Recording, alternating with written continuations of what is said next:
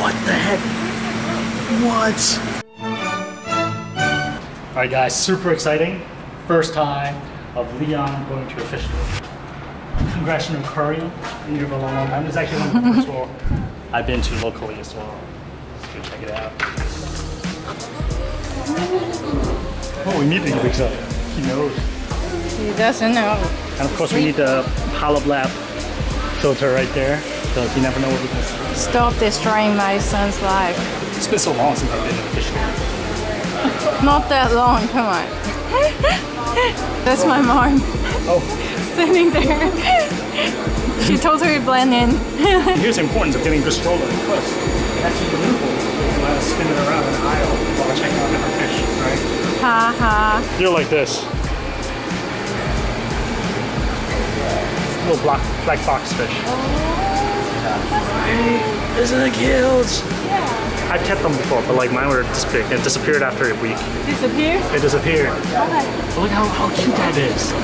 Yeah, right? They have like really unique pattern. I've never seen pattern like that. This one too. Interesting. Yeah, that's a really interesting pattern. Guys, is this like a regular yellow cube box? I'm not seeing this. Black botfish, yes, but like that pattern, I've never never seen this. This is actually a really cool setup. Look at these guys. These are mud skipper. We get a lighter color one down here, but over here, oh, you see that big dude right there? It's a big fella. Same thing right here. Look at that. Mud skipper. How cool is that? I think these probably African mud skipper. I think. Hmm. Cool setup. Would love to do a setup like this one of these days. Say, do not put axolotl with fish, but today we actually get some white cloud minnows with the axolotls. We're breaking the rules, man. But look at these guys. Cute little fellas, huh? All right, so here are what we're looking for. White cloud minnows. So if you have to keep fish with axolotl, I think, excuse you, excuse you. So if you have to keep fish with um, axolotl, White Cloud is probably the best bet. Um, they prefer colder water just like axolotls and they don't have sharp rays. The only thing is that they're probably going to get, get eaten eventually by the axolotl, but if you're okay with that, they will make the uh, acceptable tank mates if you really want to keep fish. If possible, can we get the larger ones? The larger yeah, ones? Sure. if possible. Yeah, no issues at all.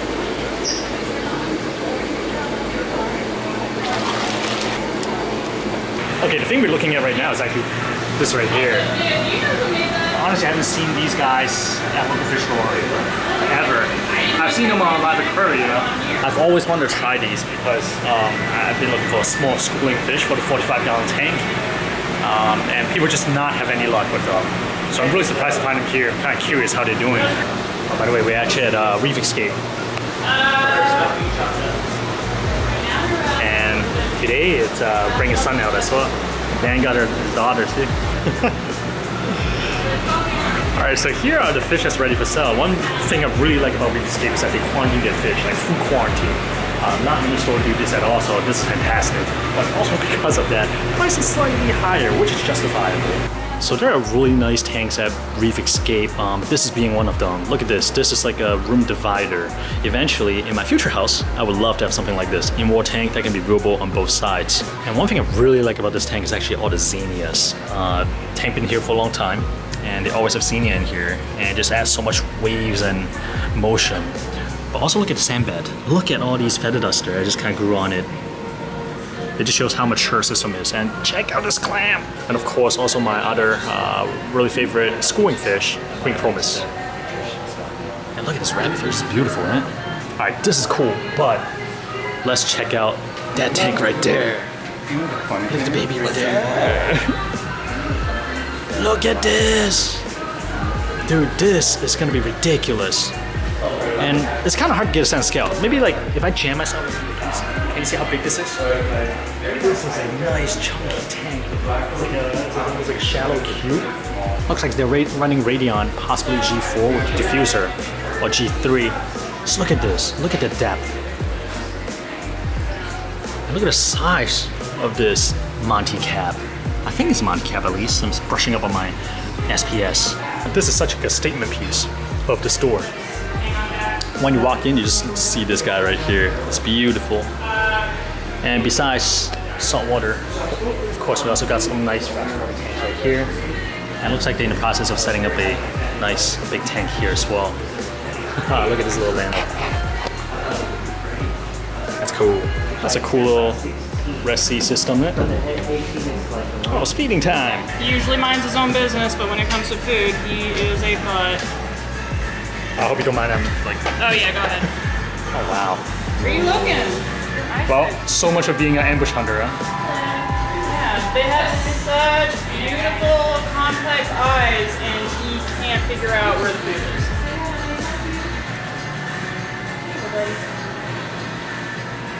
Wow. Pretty surprised how active it is. Oh I just kind of wait for the food to drift past. Hey buddy. Yeah, Oh, what? I didn't see that guy. He's crazy. drop coral croucher. Up, up. Yeah, there you go. Oh no. He likes to hang out in here sometimes. I didn't even notice in the beginning. Check this out. That's actually a blenny. I've never seen that. Look at the look at the stripe. I was hiding now. Look at this long spine urchin. I've always liked one, but uh, I feel like they're a little bit too destructive. They move things around too much. But they're cool, aren't they? Oh, look at this blenny. Blenny's out. Look, it's wild. I wonder what kind of blenny this is. I've never seen that. Looks like looks like almost like tiger stripes kind of deal going on in the body. Really active fish. It's uh, definitely uh, something different from your standard like bicolor. It seems to kind of hop along the rock a lot more than bicolor blenny. Really cool little dude. Lots of interesting things here. My, uh, I see bigger shop. sister merch shop. Yeah, make sure you support. Need some diaper money. Oh no! It's teespring.com, Mighty Nano Tank. Here's the tip. Oh, Buggy bags. that's awesome. Contains the smell. I don't have the, I don't have all of the. Here's our second stop, Blue Ribbon Aquatics. Um, they sell koi and they sell a lot of like corals and fish and stuff like that. This is one of the classics, uh, one of my favorite store in the Manassas area in Virginia. So a lot of you guys asked me about the clowns I got. Um, the pair of Mocha Da Vinci clowns I got actually came from here, Blue Ribbon Koi. They special ordered it for me. Uh, this was about three and a half years ago when those kind of clownfish came out not that long ago from CM Reef, and they were able to hook it up. And throughout the years, whenever I need clownfish, especially designer clowns, usually I come here first because as you can see, they usually have um, nice selections of different clownfish. Basically, this entire aisle is dedicated to different clowns and designer clowns. Ribbon Aquatics usually is one of kind of like my first stop when I'm looking for uh, new clownfish. Really interesting fish today is this guy right here. This is a seamoth, also known as jet blaney, according to them right here. Look at this. So this fish is just really active. It's like non-stop crawling around, and they're telling me that they're essentially like a, almost like a dragonette. They eat like copepods and stuff like that, and they will maybe climb up like this to a high point of the tank, and then they glide down back to the floor. It's just really really cool. They get a little bit larger though. Right now this guy is pretty small, um, finger for scale. They do get up to maybe five to six inches. I've never seen good. Geometric hawkfish. flame hawkfish? Yeah, these guys are supposed to be really cryptic. Like you may not see it again. Oh, really? So they're good. They're great for nanos. They're great for picos and nanos.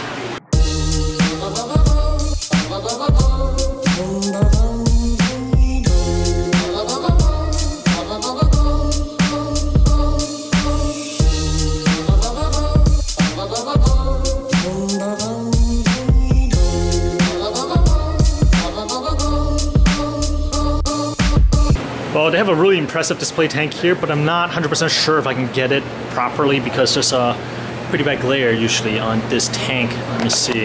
It's a nice collection of SPS and a really nice collection of reef fish, and of course some of my favorite big giant clams right here. We got Derasa and we got this Maxima that we've been eyeballing for a long, long time. Just always fun to kind of take a look and see what's going on in this nice large display tank.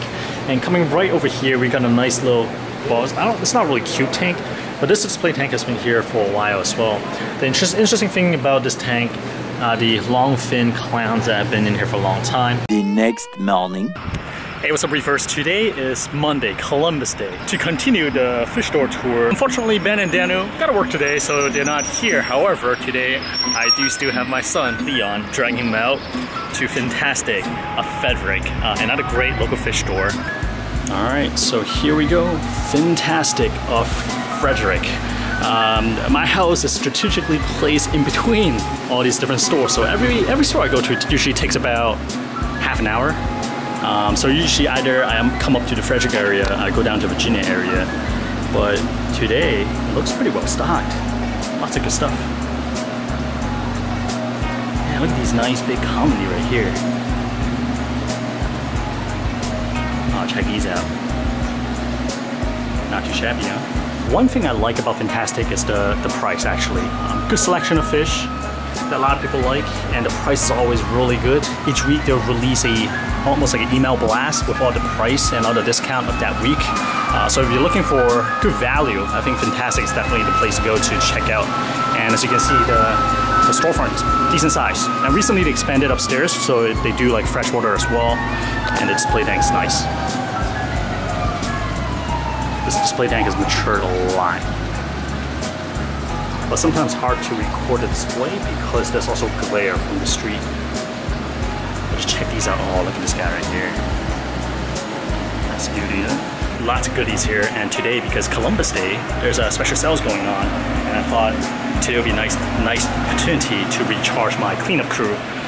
And to start things off, we're gonna pick up a couple of the trochus snails. Trochus snail is one of my favorite snails because usually they can right themselves and they, they work hard and they do a good job cleaning all around the tank. All right, next up in my tank, I only have one Nassarius snail. It's been there for years, so let's, let's give him some friend.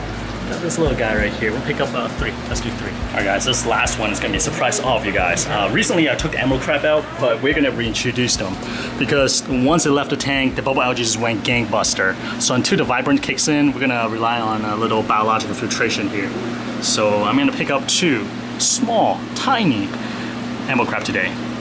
I know, I know. All right, guys. Here's our last stop. I think it's in the frame. Let me try one more time. Here's our last stop, Rick's Fish and Pet Supply. This store is probably just five minutes away from Fintastic. So usually when me and my buddies come here to Fintastic, we also swing by Rick's or vice versa. All right guys, so this is my jam right here, aisle to aisle of fish and corals. Now in terms of coral selection, it may not have as many as for example like uh, the neighbor Fintastic, but they more than make up for it in terms of like some of the oddball stuff they get whether it's fish or inverts, stuff like that. So it's always worth a visit. And I think like one of the showpiece that I've been going on for a while is actually this elegance coral. Look at the size of this. 700 bucks. But look at the size of this guy right here. Eh? Is that a tube anemone? Kind of interesting. And look at, look at this clown just kind of chilling in here. And a reef lobster. Again, lots of. Wait, what is that? What is that? Oh, that's interesting too. They have a looks like an algae scrubber right here. Interesting. I think those are all salt. What is this? It's a Leon in the wild. oh, look at that. They have some Ricordeas. I didn't even see that. But check this out. Look at this baby blue tang. If my 150 it's up, or if I'm sure that 150 will be up within a couple months, I would have gotten this guy right there. I've been on the lookout for beautiful baby blue tang, and that seems to be one of them. One thing I saw today that blew my mind is actually look at this. Look at this lionfish.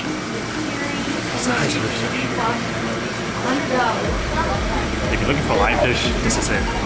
Um, at some point, I would love to keep one. Just look at the size of this. All right, this is cool. Um, tuxedo urchin. I've been trying to find a baby one. I'm kind of kicking myself of not picking up one at I think Reef Palooza in New York. They have like a tiny baby.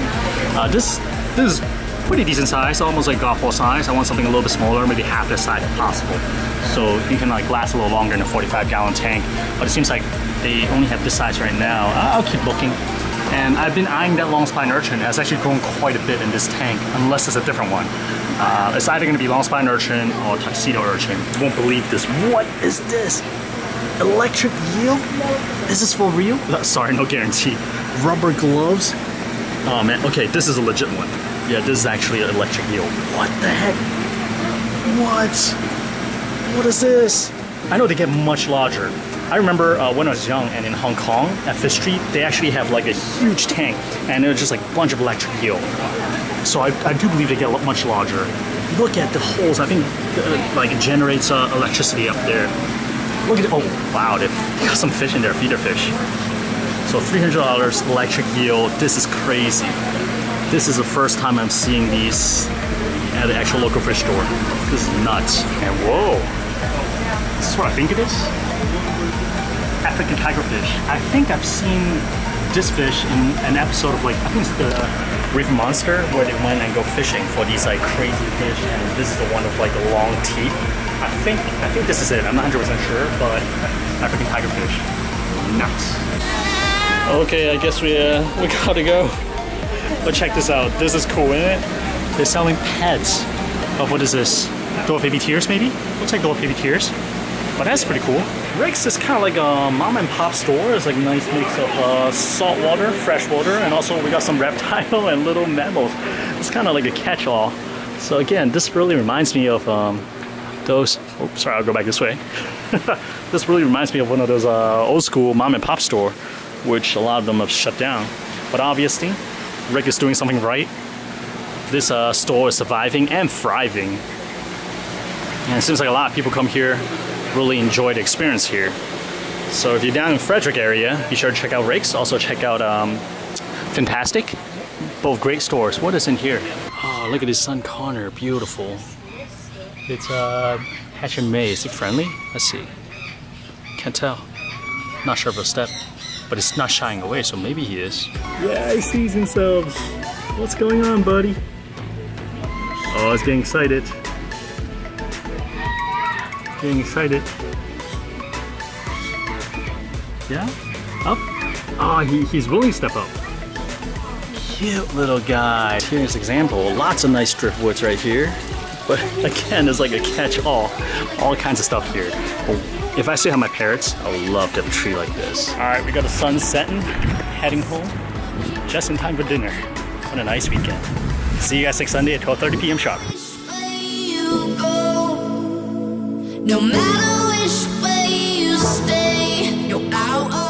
As you know, I have some major bubble algae issue in a 45 gallon tank. Uh, in the past, I have used this product